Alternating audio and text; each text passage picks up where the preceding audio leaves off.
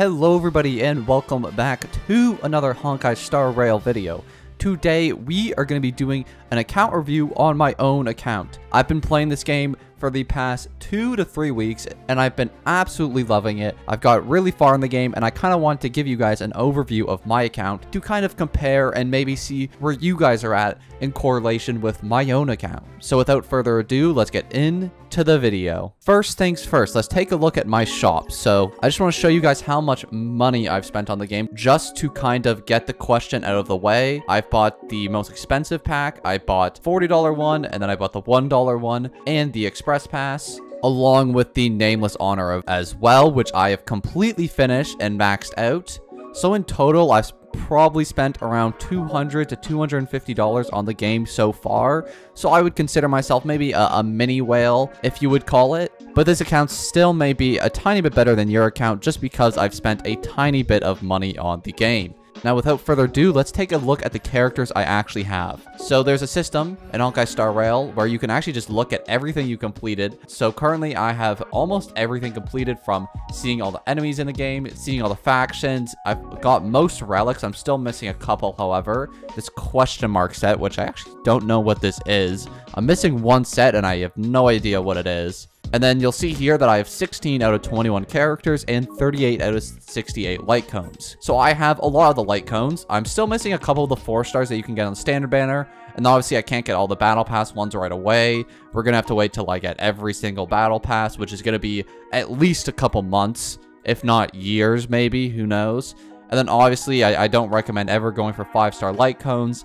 I try to avoid them as much as possible unless they're the free ones that you get from the simulated universe, like the Texture of Memories or the Fall of Ion, which I still haven't got yet, but I do plan on getting. Other than that, I do have most of the cards in the game. As for my characters, I have four five stars. I would say the only one I really wailed for was Seele. Himeko was lucky. Gepard I got on the very first banner in the game. And then Yanqing I just got from the standard banner going all the way to pity with my free-to-play wishes. And then I have most 4 stars in the game. I did get very, very lucky on the standard banner. I was able to secure myself a Sushang, a Tingyun, a Qingque, an Arlan, and even get a couple constellations along the way. And then I am missing one 4-star, however, in Sampo. He is the only one I'm missing, and I really want him because I've heard he's absolutely like crazy in the simulated universe. So I was really hoping I could get him. I have not as of yet. Really praying he can come home eventually. Other than that, I am missing four five stars. I'm missing a lot of the good ones. Unfortunately, I got like some of the worst five stars in Yanqing and Himeko. It's not that they're bad. They're just worse than the other options. Welt is overpowered. Bronya is overpowered. Clara is overpowered. And Bailu is the best healer. I would have loved any of these four. Unfortunately, uh, I was not able to get them, so it is what it is. But we move on anyways. I'm happy with the four stars I have, and I make it work. Now, let's take a look at some of these characters. So I've kind of picked out a total of eight that I want to build for challenges like the Forgotten Hall because that does require eight characters. And then I've kind of left every other character at level 20 uh, and I do not plan to build them unless uh, I really need them for something. But here are the eight that I am building currently. It's Sushang, Serval, Himeko, Gepard, main character, Tingyun, Seele, and Natasha. I also have Asta at level 50 because of World 6 is quite literally impossible without Asta. I have not found a way to do it without her, so she's basically required to level up if I ever want to beat World 6 of the simulated universe. Now let's check out some of these builds. So all the characters that are level 20, uh, they're not going to have relics, traces, or anything. I guess I will show you guys my Eidolon level for everybody. Arlan's at 0, Hook is at 5 because I wished a lot on the Seele banner. Dan Heng is at 0. Hurt is at level 4 because you get some copies of her from the simulated universe. Qingque is at 2. I don't know why I have her at 2. I think you get her for free. And then I got another copy on the standard banner. March 7th is at 1. Yanqing is at 0. Pela is at 4 because I got a lot of copies from her on the Seele banner. Asta's at 2. Sushang is at 1. Serval is at 1. Himeko 0. Gepard 0. The main character is at level 4. Tingyun 0. Seele 0. And Natasha is the only character I have at E6. Now let's get into some of these builds. So I'll show you guys what I am working with. So my Natasha is currently on the Abundance Light Cone. Uh, it's level 60. I would like to switch it to uh, Quid Pro Quo, but unfortunately I just don't have the materials to level that one right now. So I'm kind of stuck using this. As for Traces, uh, she's one of my characters who I have not prioritized Traces on. You'll notice that when you hit level 40, a lot of these Traces become really hard to upgrade and you need a lot of materials. So, so far I have really not maxed out the Trace for most of my characters, if not any of them, because I've had such a hard time gathering the materials. As for my relics, I'm going to be running the 4-piece Passerby of Wandering Cloud, which gives me some outgoing healing and an extra skill point at the start of battle. And then I also pair it with the Fleet of Ageless to give me some more HP. Here are some of the pieces that I am running. As you can see, I, I just don't have the materials to upgrade every piece. It's kind of a work in progress. But that is my Natasha. Next up, Seele. Seele has is probably my best built character. Probably just because she's the only limited character that you can get, so everybody's hyped for her. Fair enough. I mean, she is a really cool character. She's running the Hunt Light Cone that you get from the simulated universe. As for her traces, she is actually maxed out. She is one character that I have maxed out in the traces department as of Equilibrium level 3. As for relics, she is also the only character that I have on full 5-star relics. Here are some of the pieces that I'm working with. Keep in mind, they're not going to be great, we are in the early game, none of these pieces are really going to stand out. Like this glove is actually decent enough because it has some break effect, attack, and also a tiny bit of speed. But I rolled HP twice, is what it is. This is a crit rate piece that I got. Again, it's not that good, but it had some crit rate some break effect and some attack, so I took it. Boots, I still haven't got anything other than HP percent. I am working on it. Uh, I did get lucky and get a quantum damage bonus sphere, so that was really nice. Unfortunately, it wasn't really a set that I wanted, and it rolled into defense percent, but it's the only five star I have, so we take it. And then I also got a really nice break effect rope to pair with it as well. And that is the state of my Seele for right now. She does have positive crit rate, so that's nice. I do have 54%, but it doesn't really matter when you only have 71% crit damage. She does have a lot of attack though, and her break effect is pretty high at 93%, so she's in a good spot for the early game. Tingyun is my next character, little fox girl. Everybody kind of likes Tingyun. Her light cone is going to be the one that you get from the battle pass is, I believe, where I got this. Another character who actually has her traces maxed out. I didn't realize I actually had maxed out two characters' traces. I'll take it. Okay, so Tingyun also has maxed out traces. Relic, she's currently running the four-piece Musketeer of Wild Wheat. I believe I just have her on full attack percent for some scaling with her E ability and also a little bit of lightning damage there paired her with an attack percent rope as well. As you can see, I'm just trying to stack as much attack as possible on her so I can get the most benefit out of her skill, which scales on her attack, so like I can do as much damage with my Seele or whoever I'm using with her as possible main character MC, who is actually one of my favorite characters. I actually really like him. And honestly, I'm kind of surprised because the main character in Genshin is so bad, and yet this one is so good. It kind of confuses me. But as you can see here on the side, I got a lot of defense for him. I got 2,000 defense on my main character. Pretty good stuff. Light Cone, I am running the March 7th one, which gives me an extra 16% defense and more damage res as well. As for Traces, uh, I haven't maxed it out yet. I am working on getting the ultimate leveled up, and then I also need this passive ability, but I can't do my weeklies again this week, so I'm still waiting on it. Relics, I'm working with the two-piece Guard of Wuthering Snow and the two-piece Knight of Purity Palace, which gives me more defense and the reduces the damage I take. Again, I just stacked a ton of defense on him. You see defense piece, defense piece, defense, and more defense. It's all defense. Defense is all I care about. Getting as much of that as possible so I can get the absolute most out of my shields with the main character. Next up, Gepard. Now, Gepard, I've actually prioritized second to main character, which is really weird because main character, I actually, okay, I don't know if he's better than Gepard on like a tier list or like just by himself, but I just like him more. His playstyle is more fun. He can taunt enemies, which I really like. Gepard does have a better shield and it will last longer. But main character, it's just funner to play, honestly.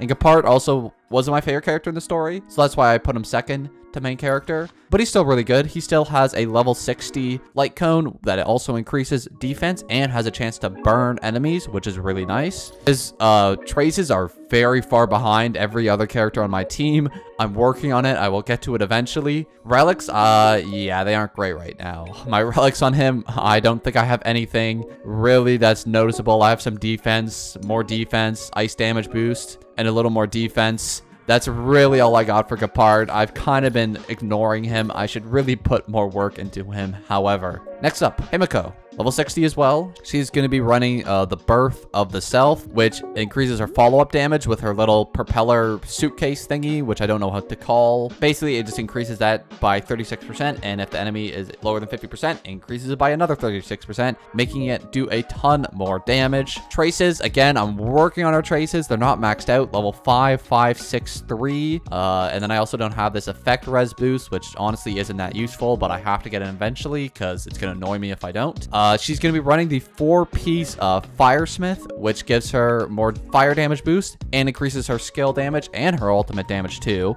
Again, I haven't really had the materials to level up a lot of these pieces. Some of them are defense percent with like the most trash subs you've ever seen, but I just don't have other pieces or the Trailblaze power to get more of them. So I'm, it's kind of something that I'm working through. In terms of where I use my Trailblaze power, I've been mainly using it to level up traces and light cones instead of going for relics. So that's why a lot of these relics are really poor. I just feel like I'd rather have a guaranteed upgrade than have a chance of getting a good piece that will probably be replaced in the future anyways. Our last two characters, one of them is Serval. She has 1800 attack and actually a pretty good crit rate, crit damage ratio for the early game. 50 to 83 isn't terrible. I would like to get a little bit better, but it's something that I'm working on. I have a level 60 light cone on her, which is her 6 signature one, which regenerates 20 energy upon entering battle and increases her ultimate damage by 32%. A very nice one there. Her traces are actually maxed out. She's somebody who I put more work into. To be honest, I really just go based on who I like more. I liked Serval a lot more in the story than Himeko, so I prioritized her character. It's a single player experience. There's really no way that you have to play the game. So I prioritized Serval, and that's all there is to it. Relics, I actually did get some five star relics for her because I really liked her character. Uh, I did get this absolutely nasty one, which had crit rate, crit damage, and attack. And guess what it rolled into? HP. Classic.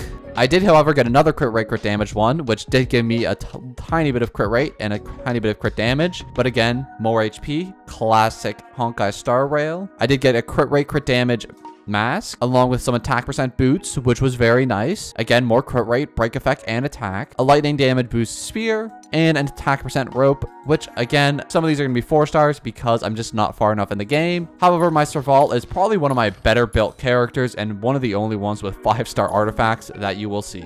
And our last character that I actually have built is Sushang. She is running her signature light cone, level 60 sword play. I really like this one. Stacks up a lot of damage really fast. Uh, I've not really done much with her Traces, however, they're still really low level. It's something that I'm working on. Again, traces are probably my next project since I just level 60'd all of my light cones. Now I'm moving to traces and trying to level all them up. Her relics are going to be the four-piece champion set to give her more physical damage. Or actually, I guess I just have a two-piece. I should have a four-piece, and I guess I don't. So I don't have a four-piece champion set. I only have the three-piece.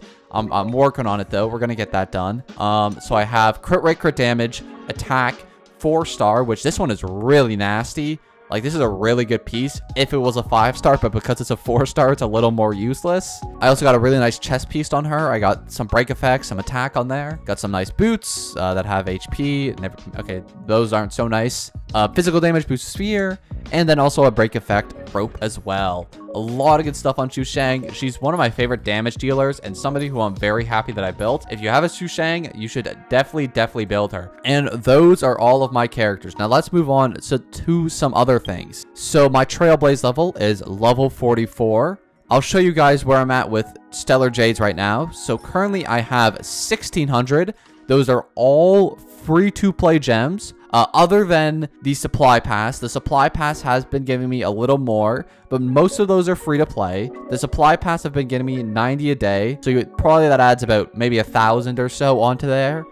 I've spent most of my whale wishes already on the Seele banner. So most of my whale wishes are already gone. So this is about as much as you can get as a free to play. You could probably actually get a little more than that. Uh, I've seen some people get up to upwards of like 20,000. Let me know how much Stellar Jades you guys have in the comments and who you're saving for. I would be interested to know. I had to go to Soft Pity twice on the Seele banner to try to get uh, her because I lost the 50-50 to Himeko and then I had to roll again to get Seele. Wasn't the best experience ever, but I had to live with it.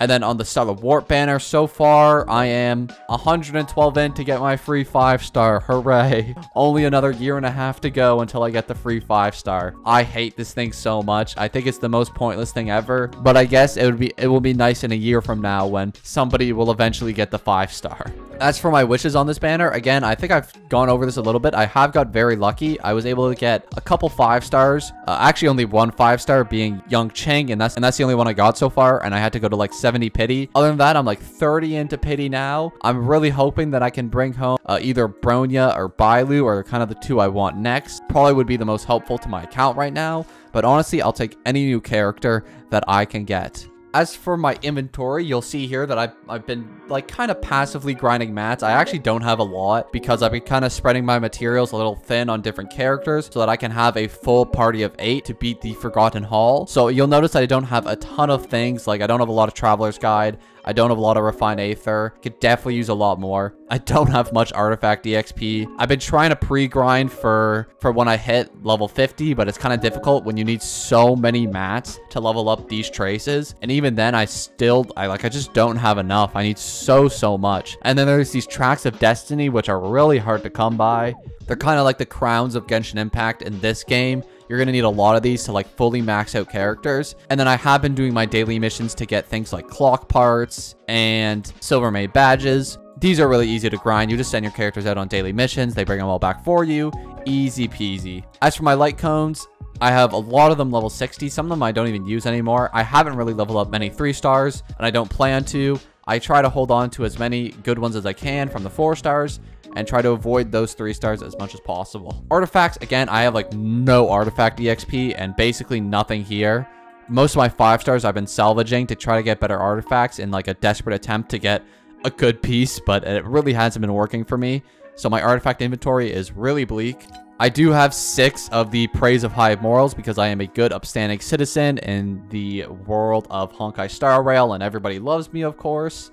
And then as for my valuables, I have 22 limited Star Rail passes, which is big. I actually have 500 extra shield, which I shouldn't have because I bought out the entire shield shop, so I don't understand why that is. Uh, I have one of the Herta Bond currency. I have a lot of Undying Starlight. I'm trying to save up to get that 5-star light cone. And then as you can see in the top corner here, uh, I don't have a lot of currency at the moment. I only have 500,000 because I've been spending so much and I haven't grinded money. So that's going to be a little bleak for me at the moment. Now let's take a look at my Forgotten Hall progress. So currently I've completed everything for the week. I have all of the rewards. I've maxed them all out. Uh, I have beat World 6. This one was really difficult. It took me quite a long time to beat this. The only way I was able to is by getting really lucky on my way there, getting the exact blessings that I've needed. Personally, I went for the hunt path. This has always been my favorite one. I just think it's the funnest does the most damage, and my characters were pretty weak when I tried it, so I kind of needed to do more damage. Another good one is Abundance Stone. I have tried it, but it hasn't really brought me much success, so I've kind of avoided it since then. Other than that, I really have not used like any of the other paths. I've really only been using Hunt for like all of the content in this game. Hunt is just the best one in my opinion. If you guys don't know, once you beat World 6 and hit Equilibrium level 3, you actually unlock the second versions of World 3 and 4, and I have actually cleared these two. I cleared World 3 on difficulty 2. And then I was also able to clear World 4 on difficulty 2 as well. These ones I actually found to be pretty easy. My characters were really strong at the time. And I just happened to get a lot of the right cards that I needed to advance forward. And I breathed them, I think, both on my first try. So, yeah, I, have been really enjoying these challenges so far. World 6, I'd definitely say is the most difficult. World 4 and 3, again, have just been pretty easy for me so far. But we'll see how it goes from here. And lastly, I just want to show you guys quickly my Forgotten Hall progress. So I've got 44 out of 45 stars in the main area of the Forgotten Hall. The only star that I'm missing is on stage 14. I'm missing a star. This one is actually very difficult. I've not found a way to beat this in lower than 18 cycles. I think the max I could do is like 14 or 15. It was really tough to, for me to even get there, but I just don't have the right teams to beat this. Because neither of them have a quantum weakness, Seele is kind of useless. She still helps, but she's not as useful, and I really just don't have the elements to beat this. As for Memory of Chaos, which is the Spiral Abyss of this game, have not tried this yet. This looks really difficult from what I've heard. It's very, very hard to clear. So I've not given it an attempt yet. And plus, I don't have a single built wind character, so I don't even know how I would go about killing this thing. It has other weaknesses, but the most frequent one you're going to use is wind. And yeah, still no wind character built. The only one I have is Dan Heng, but I kind of just don't want to build them because I already have two other hunt characters built. I'm kind of waiting until I get Sampo or Bronya maybe to build them instead. And yeah, that is about everything I've done so far. That is my account currently. I've beat most of the content in the game. I'm kind of out of everything right now. This game has kind of hit a, a, stall point for me right now until the next update comes out. But let me know where you guys are in the comments below. Personally, I'm still enjoying the game. Even if I'm out of content, I'm still always having fun because I still enjoy grinding and trying to make my characters a little better. But I know it kind of differentiates from person to person. So let me know how you guys are doing on your Honkai Star Rail account in the comments below. Anyways, guys, thank you so much for watching, and I'll see you all in the next one. Peace.